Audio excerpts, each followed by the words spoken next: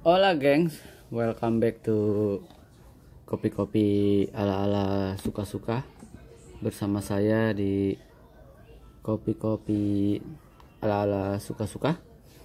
Tentunya suka-suka saya. Nah, udah tau lah ya Excelso. Siapa yang nggak tahu Excelso? Excelso itu salah satu brand kopi kopi premium di uh, Jakarta khususnya dan di Indonesia pada umumnya. Excelso itu jauh lebih lama dari kopi anomali anomali kopi lebih lama dari tuku tentunya. Dan lebih lama dari kedai-kedai kopi yang kalian temukan sekarang di berbagai pengkolan di Jakarta dan di seluruh Indonesia. Excelso tuh udah lama banget pemain, salah satu pemain yang lama. Dulu sebelum kedai-kedai kopi yang 18 ribuan itu ada, kalau ke mall, nah ini rata-rata di mall kalau si Excelso ini. Kalau ke mall eh, pilihannya kan cuman beberapa ya segelintir aja kayak Starbucks, Celso, terus Blacklist, Blacklisted juga baru belakangan, Cafe Bean yang udah lama. Jadi mungkin waktu itu range-nya cuma tiga ya, uh, Starbucks, Excelso dan Coffee Bean.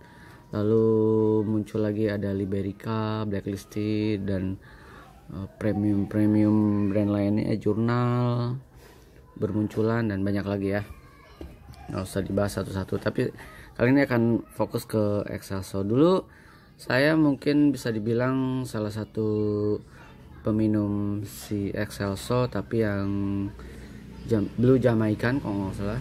Uh, Blue Jamaican. Tapi biasa saya beli di, di bin ya karena kalau beli di tempatnya sekali lagi saya nggak pernah cocok ya. Karena entah kenapa kalau saya terbiasa dengan kopi yang super uh, pekat jadi kalau dibikinin di Excelso dengan beberapa metode yang dia punya kecuali kan saya pesannya es, uh, apa espresso ya baru saya um, mendapatkan kopi yang pas tapi kalau saya minta pakai metode lain biasanya hasilnya saya nggak gitu suka rata-rata kopi cewek-cewek kalau menurut saya Nah, ada yang tahu nggak si Excelso ini eh, punya siapa? Ada yang bisa nebak gak? Excelso ini sebenarnya kopi dari pemain besar. Yo, ada yang tahu nggak? Ada yang tahu nggak? Si Excelso ini, Excelso ini tahun berapa ya? Excelso ini berdiri kalau nggak salah pertama kali di tahun 19 91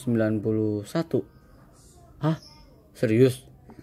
1991 lama banget jadi ada yang tahu nggak si Excelso ini udah eh ada? Jadi ada yang tahu nggak si Excelso ini keluaran mana?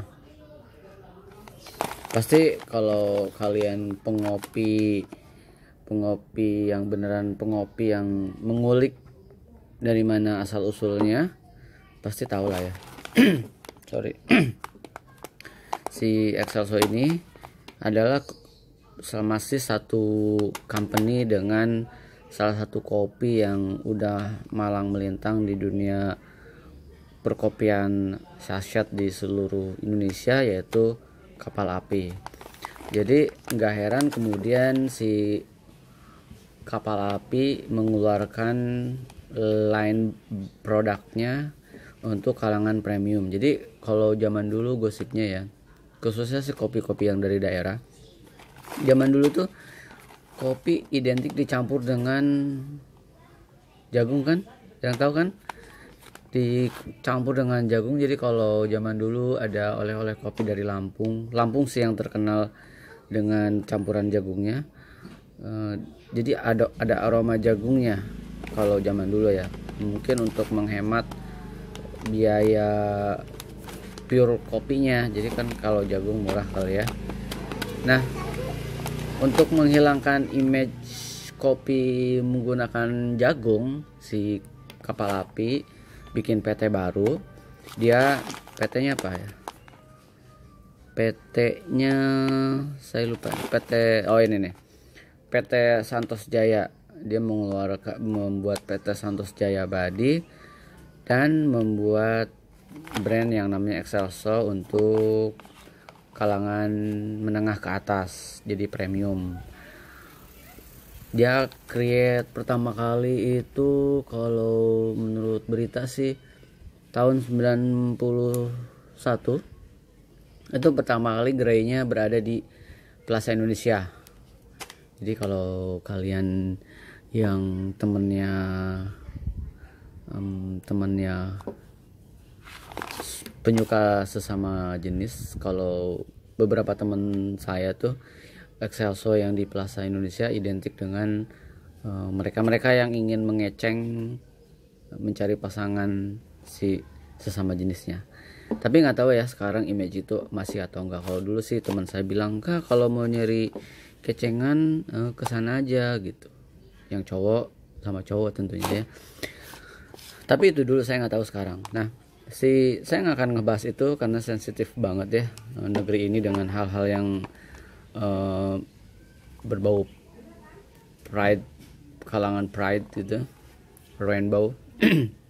Saya cukup akan membahas Excelso karena bagaimanapun si walaupun sepanjang saya mem, membuat vlog dengan berbagai jenis kopi saya belum pernah membahas tentang si Excelso jadi walau bagaimanapun Excelso adalah bagian dari perjalanan uh, kopi saya semenjak dulu karena zaman dulu memang belum ada kedai-kedai kopi yang menjual kopi berkualitas. Excelso sebenarnya salah satu kopi kedai kopi yang menjual biji kopi yang cukup berkualitas kalau menurut saya. Tapi waktu itu entah kenapa saya kurang cocok dengan si blendnya atau roastingannya si espresso uh, excelso. Karena kalau kalau saya mencium aroma di sini bagi saya hampir semua aromanya tuh sama gitu si si excelso ini. Entah kenapa coba ya. Jadi ada aroma yang nyegrak ke wangi khas yang nyegrak ketika mencium menempelkan hidung di aroma locknya ini di valve-nya ini. Entah kenapa. Kebetulan saya punya Arabica Gold. Memang sengaja saya beli ini untuk tujuan sedikit mengulas tentang si Excelso ini. Uh, dulu saya sempat membeli beberapa malah. Ada saya sempat Brazilian Santos saya konsumsi dari sini beberapa brand Mandailing, Toraja dan sorry. Dan eh, brand-brand uh, apa uh, roast, uh, single origin lainnya termasuk yang dari luar. Blue Jamaican salah satu Jamaican Blue Mountains salah satu salah satu kopi yang uh, pertama kali saya dapatkan si Jamaican Blue Mountain itu dari Excelso nggak saya temuin di di kedai lain kayak Anomali atau Caswell atau si Quintinos karena Quintinos semuanya uh, lokal. Kalau si Excelso ini dia sedikit mengusung ada lokal dan non lokalnya jadi kalau kalian ke kedainya dia ada jual sorry. Ke kedainya itu uh, dia ada jual beberapa range produk kopi yang dari luar ada tiga kalau empat kalau nggak salah ya saya lupa. Dia ada Brazilian ada si Blue Jamaican Blue Mountain itu. Sisanya saya lupa ya. Karena saya udah jarang beli di Excelso kenapa? Karena udah saya udah terpapar dengan roastery roastery baru yang e, memiliki kualitas e, biji yang bagus juga memiliki karakter roastingan yang nggak kalah mantap dari si Excelso ini. Nah, e, dan salah satu kelebihannya si Excelso dia selalu me menempelkan ini nih di bodinya dia uh, notesnya citrus spicy floral dan bodinya medium untuk arabica wah saya salah beli ya. Saya salah beli nih. Harusnya saya beli robusta gold nih. Saya baru baca ya ternyata arabica gold ya. Ya gagal dong. Sebenarnya harusnya saya beli yang robusta gold bukan arabica gold. Saya main ngambil aja. Makanya waktu tadi saya beli wah robusta goldnya itu bodinya full. Acidity-nya tuh satu satu setengah. Terus pas saya ambil. Robusta gold itu harganya 24.000 ini 39.000 jadi pas saya ambil wah kok acidity-nya jadi dua terus bodinya jadi dua juga ya gitu. Sementara notes-nya yang saya pegang yang harganya 24.000 itu notes bodinya full ya. Wah saya baru ngeh saya baru lihat ternyata saya salah beli anyway gimana ya lanjut nggak ya? Ya udah nggak apa-apa lah lanjut aja. Arabica Gold nggak apa-apa. Eh saya beli. Padahal sebenarnya saya mau membongkar Robusta Goldnya. Robusta Goldnya si Excelso ini bijinya gede-gede. Jadi kalau di blend sama kopi yang karakternya misalkan saya kasih tahu karakternya dari Papandayan Papandayan Garut atau karakter dari Ciwidey atau Cihejo atau Gunung Puntang yang prosesnya honey atau dari beberapa daerah yang prosesnya honey itu dahsyat banget itu pasti enak banget. Tapi sayang saya belinya Arabica Gold ternyata. Hmm, salah ya. Oke deh nggak apa-apa. Kita lanjutkan aja. Nah Kenapa akhirnya saya memutuskan untuk membahas si Excelso ini? Karena seperti yang saya bilang, Excelso ini sedikit mengisi perjalanan hidup e, dunia kopi saya. Jadi setidaknya saya harus membahas si e, Excelso ini. E, seperti yang saya bilang, saya sudah terpapar oleh roastery-roastery baru yang memiliki keunikan dan berbagai jenis proses yang berbeda lalu varian kopinya dahsyat banget banyak banget mulai dari yang biasa sampai yang orang baru kenal kali ya karena dulu kan orang taunya Toraja tapi di roastery yang baru ini Toraja dipecah lagi menjadi region-region yang kecil. Sementara kalau zaman dulu di roastery-roastery kayak Caswell, Quintinos atau Excelso atau bahkan si Anomali itu si kopinya ya Toraja dipukul rata Toraja semua. Meskipun mungkin Torajanya dari awan dari mana dari mana entrekang dan lain-lainnya tapi di brand dikasih brandnya cukup Toraja sekarang sekarang dibagi-bagi lagi. Bahkan di Jawa Barat aja kan udah seperti udah pernah saya bahas juga range-nya banyak banget. Termasuk kopi terakhir yaitu kopi rasa mala yang sayangnya gagal di lidah saya. Jadi nggak mau nggak mau saya sedikit akan mengulas tentang Arabica Gold nggak apa-apa deh. Nextnya mungkin saya akan beli si Robusta Gold ya dan akan saya bikinkan. Nah yang saya bilang saya nggak gitu suka karena entah kenapa si aromanya ini hampir uh, karakternya sama semua kalau menurut saya. Bu entah kenapa ya. Nah tapi mungkin mesti nanti nextnya saya beli satu lagi lalu saya bandingkan aromanya ya. Terus soalnya kalau hidung saya merasa e, ketika mencium dari masing-masing ini kok aromanya sama ya gitu si Excelso ini. Akhirnya saya udah jarang banget beli Excelso. E, mungkin terakhir beli Excelso bisa di sekitar oh, lama banget ya. Kalaupun nggak terpaksa di sebuah tempat nggak dapet kopi ini Excelso kelebihannya kalian bisa temukan di Indomart sih di supermarket supermarket yang ada di seluruh di Indomart ada nih Excelso. Kalau teman saya mm, merasa Excelso salah satu kopi paling enak di seluruh Indonesia roastingannya. Kalau saya hmm, dari dulu memang nggak begitu jatuh cinta banget sama si Excelso. Saya lebih mendewakan Quintinos, Caswell, lalu kemudian baru si uh, Excelso ya. Pada zaman itu. Lalu Starbucks itu bisa di switch ke mana aja dia bisa uh, customize banget sih Starbucks. Kita buka daripada berpanjang lama membahas uh, cangkangnya kita buka bagian dalamnya si Excelso ini. Sayang ya salah beli saya. Mata emang udah siwer nih. Umur 25 tahun memang mata kok udah siwer ya. Kita buka. Kita cek ya nih kalau range-nya orang-orang pada zaman dulu pasti dia akan ngasih ngasih kopinya itu di 7 sampai 8 gram. Lalu air 200 ml dan suhu 80 derajat celcius. Itu memang takaran yang umum orang bikin. Itulah kenapa kalau saya minum di Excelso kalau kalian ke Excelso tuh bayarnya sekitar 30 sampai 40 ribu ya kalau nggak salah ya. Kalian bisa mendapatkan kopi yang menurut saya kurang maksimal di lidah saya. Jadi anyway saya selalu beli bijinya aja. Zaman dulu juga. Tapi kalau saya selalu punya metode tersendiri. Jadi saya suka kopi yang nampol. Nih kita lihat ya.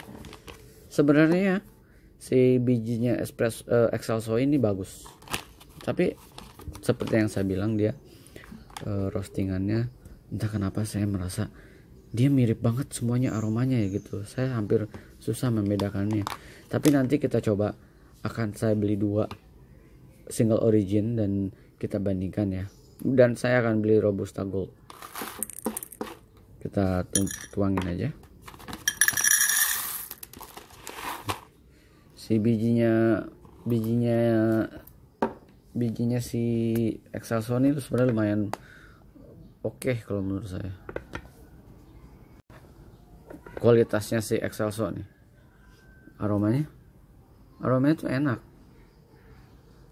Coba entah kenapa saya nggak merasakan ada keunikan tersendiri di mungkin setelah saya seduh ya saya lupa soalnya rasanya espresso kayak eh, excelso kayak apa. Dia tuh nggak tahu saya merasa ada aroma yang ditambahkan di sini ya kalau di si excelso ini. Kayak bukan aroma pure kopi kalau saya beli di roastery roastery yang Eh, zaman sekarang ya termasuk si Quintinos atau si Caswell ya. Si uh, Excelso ini ada sesuatu yang aroma lain yang di luar kopi kalau menurut saya. Entah alat roastingannya atau gimana. Jadi ada ada chemicalnya kalau menurut saya tapi nggak tahu ya. Ini bukan bukannya saya menuduh sih tapi saya merasa ada aroma di luar kopi. Entah kayak penguat aroma atau apa. Mungkin kalian bisa beli bandingkan dengan kalian beli langsung. Nah kan gini. Kalian beli satu Excelso satu brand lain lalu buka bersamaan lalu kalian cium. Katakanlah dari dari satu jenis kopi yang sama sama-sama main dealing gitu. Pasti uh, halo pak. Pasti kalian akan merasakan aroma beda dari si Excelso ini. Oke okay, tapi nggak apa-apa. Setiap mungkin setiap roster punya cara tersendiri seperti apa kita nggak pernah tahu uh, dapurnya. Kita akan bikin aja daripada berbanyak ngomong. Kita bikin ya. Saya akan kalau di sini kan dia bilang kombinasinya 8 7 sampai 8 gram tapi saya nggak akan menggunakan kombinasi itu. Saya akan menggunakan kombinasi uh, saya sendiri dan mungkin Eh, beberapa orang menggunakan kombinasi itu yaitu 18 gram saya akan menggunakan kombinasi 18 gram. Oke kita bikin 18 gram. Lalu metodenya saya akan menggunakan aero aeropress. Oke. Aeropress. Tapi saya nggak akan di saya nggak akan saya attach sama fellow. Aeropress nggak akan saya attach sama fellow. Eh nggak akan saya attach sama paper filter. Saya akan sama velo aja. Saya akan akan mencoba merasakan uh, sensasi rasa yang di notesnya citrus si spice dan si floral ini floral kayak apa rasanya ya? Kita timbang dulu ya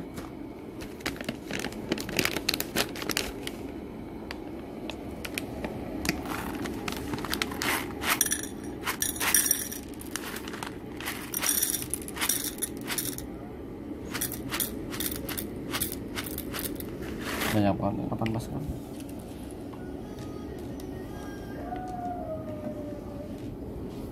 gram kelebihan 18 gram ya. Lalu gilingannya gilingannya saya akan setting di empat setengah ya. Oke gilingan saya akan setting di empat setengah. Tuang. Gilingan empat setengah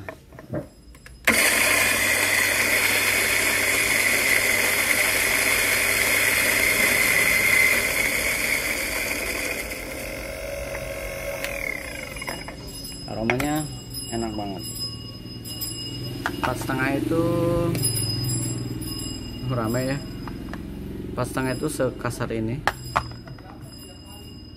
Nah sekasar ini kalau saya. Oke. Kita seperti yang saya janjikan saya nggak akan menggunakan oke kita metodenya dibalik karena kalau nggak nanti langsung netes airnya oke. Saya tuang dulu.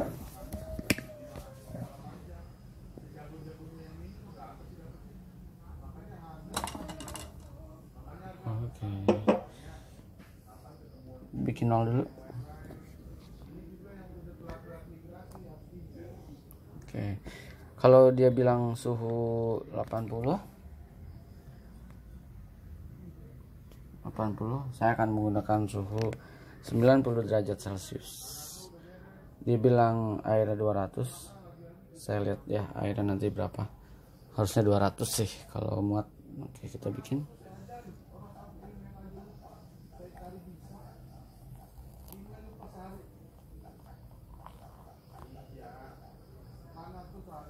Oke kita aduk dulu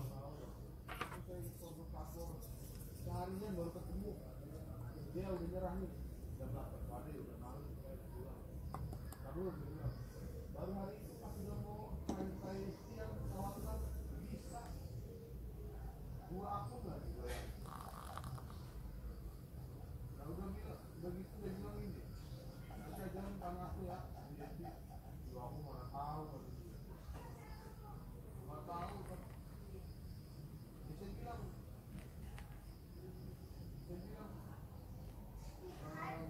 200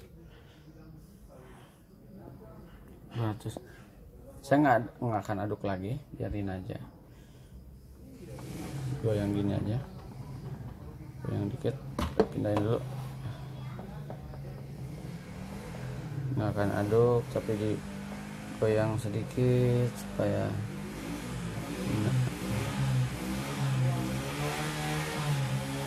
oke okay mari kita bikin. Oke.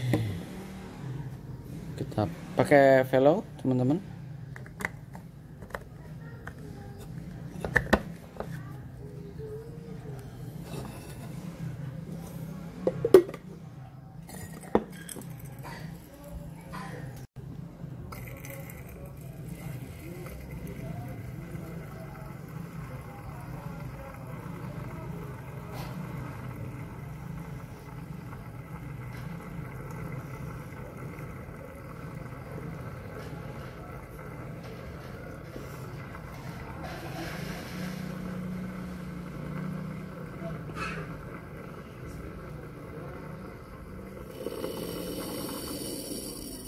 Oh, Oke. Okay. Good. Tutup.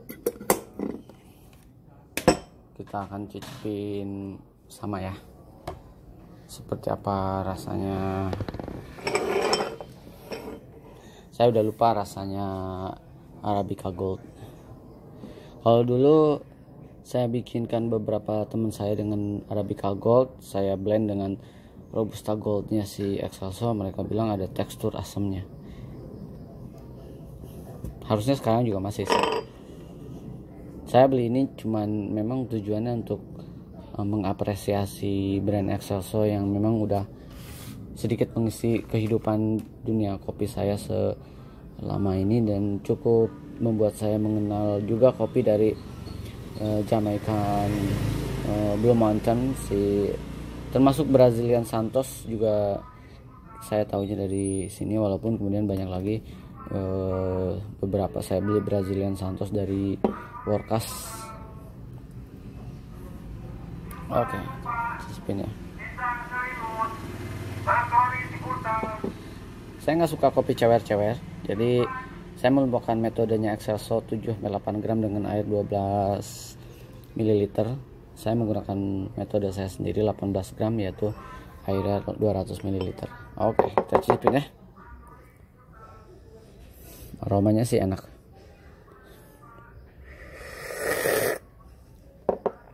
yes.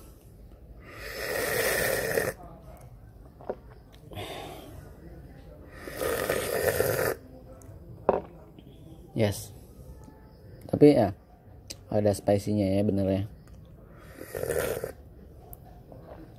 Meminum si Arabica Gold ini mengingatkan saya akan teman uh, ngopi pada zaman itu. Seorang uh, perempuan soalnya kalau dikenceng-kenceng ada yang denger. Maknya ranting hmm. Masih enak sebenarnya si uh, Arabica Gold ini. Walaupun saya lebih spicy-nya lebih kencang ya spicy-nya lebih kencang ya. Saya suka. Ternyata rasanya masih masih sama seperti dulu. Ada sisa pedasnya di lidah dan aroma citrusnya kalau menurut saya tipis banget.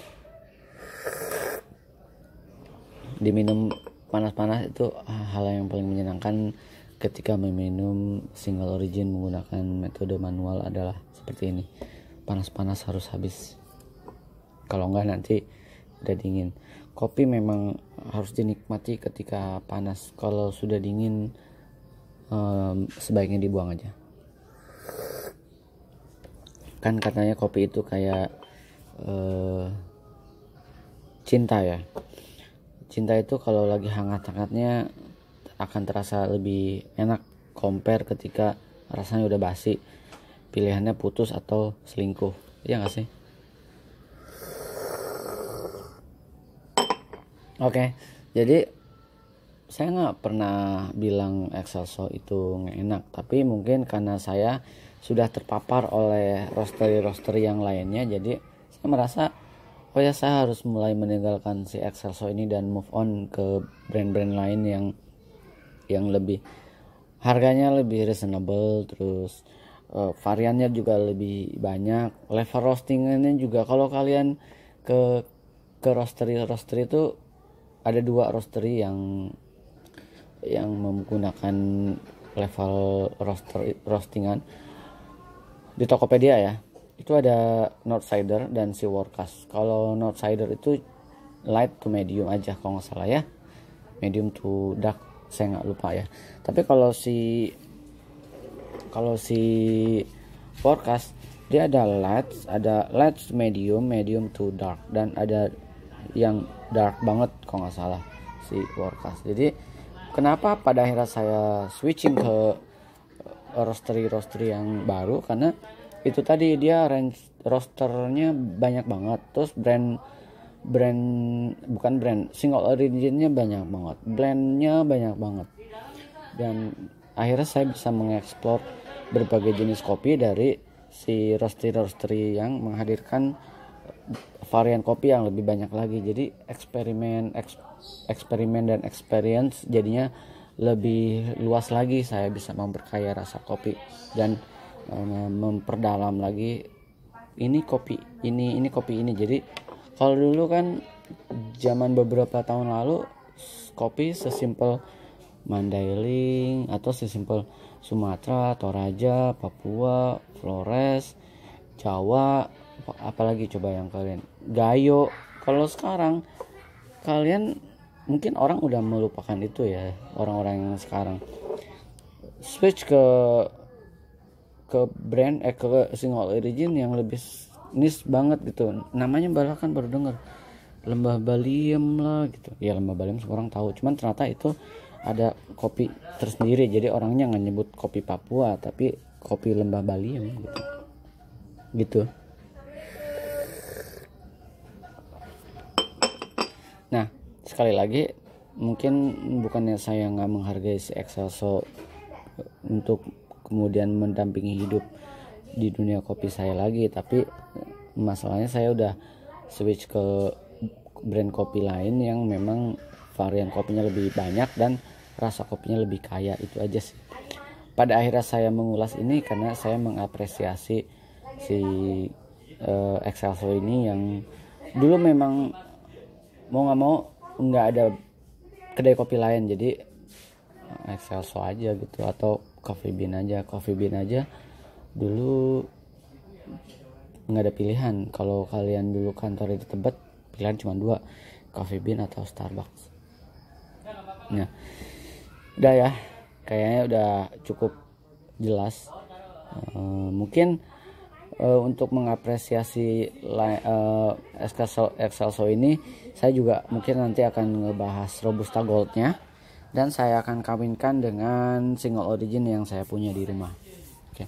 dan saya masih ada PR lagi yaitu membahas Tora uh, single origin Toraja dari si Quintinos dan mungkin saya harus sesekali membahas tentang si Caswell. Jadi mungkin saya akan kali ini sedikit balik ke belakang jadi saya akan mengulas kopi-kopi yang selama ini mengisi perjalanan hidup saya.